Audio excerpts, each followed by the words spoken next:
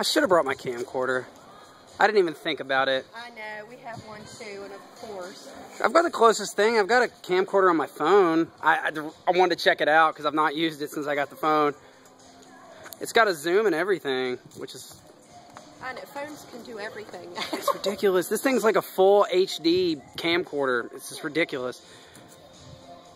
I wish I'd have known about that beforehand before I went and got one. I know.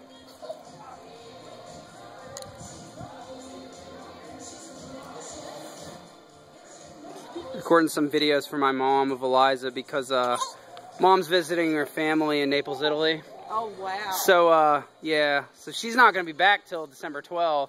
Oh, And she's going to want to see all she can of Eliza while she was gone.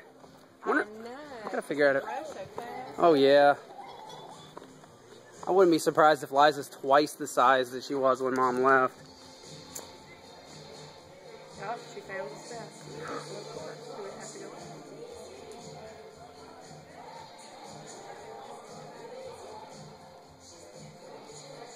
Come on. well, you managed that one well. Figured you'd splat.